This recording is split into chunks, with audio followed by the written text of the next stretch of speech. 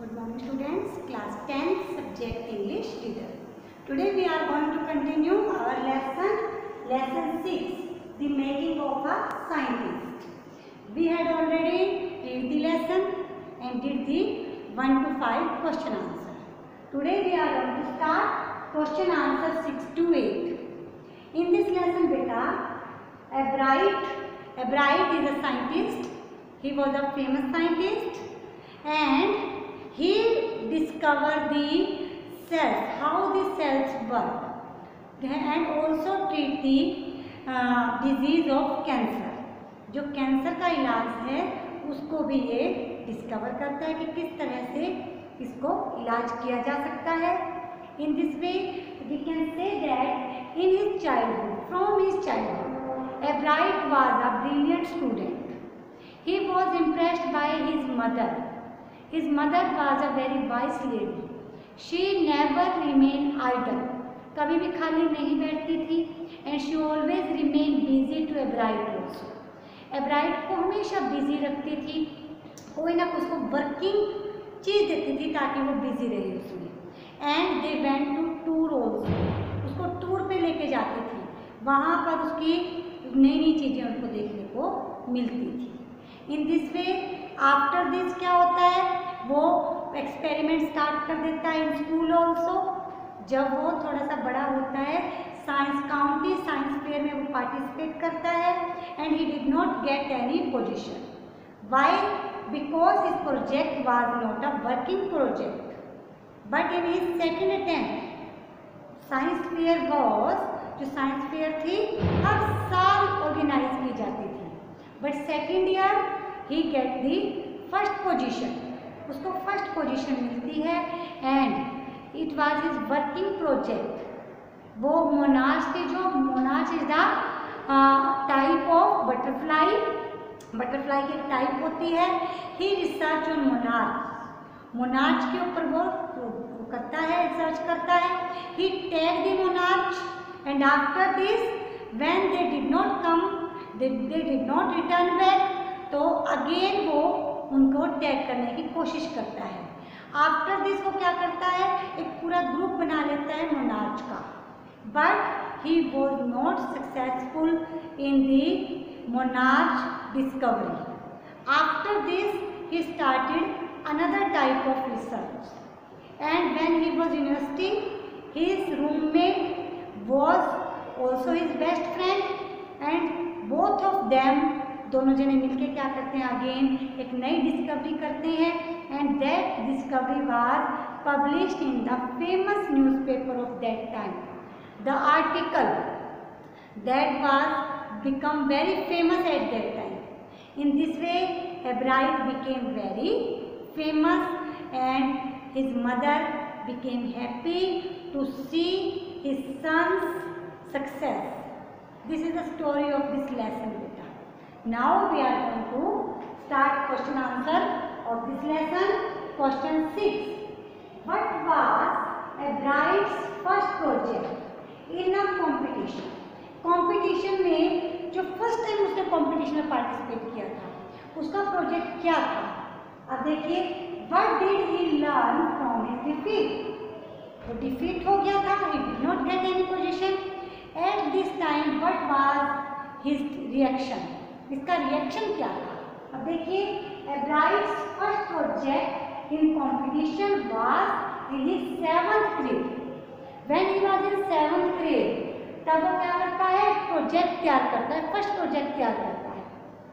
His entry was slides of frog tissue किस चीज़ के ऊपर एंट्री करता है वो?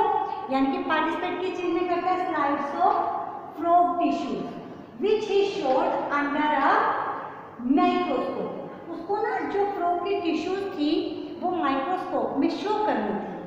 He did not win any prize उसको कोई प्राइज नहीं मिला।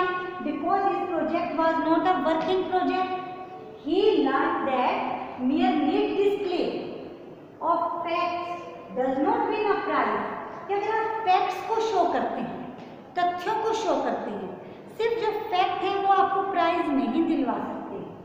One must work on real project कि अगर हमें if we want to get prize we have to work on real project हमें रियल प्रोजेक्ट पे काम करना पड़ेगा।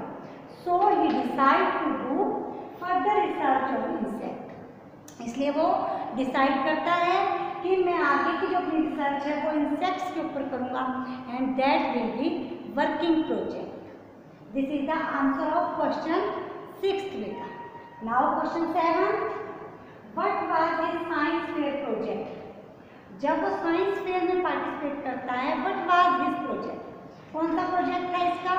His science fair project was testing the theory the butterfly copy monarch देखिए जो इसका साइंस का प्रोजेक्ट था, वो था टेस्ट करना। किसको टेस्ट करना? अपनी थ्योरी को कि किस थ्योरी को टेस्ट करना? बटरफ्लाई कॉपी करती है मोनार्च को। देखिए monarch is also a species of butterfly butterfly की तरह ही वो होती है। तो इन्होंने कहा कि उसका जो फ़र्स्ट प्रोजेक्ट था दैट वाज कि बटरफ्लाई कॉपी मोनार्च वो ये शो करना चाहता था कि बटरफ्लाई मोनार्च को कॉपी करती है। The theory was that viceroys look like monarch. देखिए this is also a kind of butterfly viceroy किसकी तरह मोनार्च की तरह दिखती है? To save themselves from the birds तो कहते हैं कि जो बर्ड्स हैं, वो वाइसरो को खा जाते हैं। तो वो अपने आप को सेव करने के लिए मोनार्च जैसा दिखती हैं वो which does not like monarch लेकिन वो मोनार्च जैसी होती नहीं है। If they are alike monarch कि अगर वो मोनार्च जैसी हो जाए they can save their life तो उनकी लाइफ बच सकती है। देखिए what was a science project fair project अब साइंस फेयर में जिसने प्रोजेक्ट लिया था, वो था बेटा टेस्ट करना चाहता था वो थ्योरी को बटरफ्लाई कॉपी मोनार्च कि जो बटरफ्लाई है वो मोनार्च को कॉपी करती है. बिकॉज़ जो मोनार्च है वाइस रॉयस है तो ये सब कैसे दिखती हैं? ये बटरफ्लाई जैसे दिखती हैं. और जो बर्ड्स हैं, वो क्या करते हैं? इनको खा जाते हैं. तो ये अपनी लाइफ को सेव करने के लिए ये अपने आप कुछ और दिखाना चाहते हैं। तो वो इसके प्रोजेक्ट में शो किया गया था।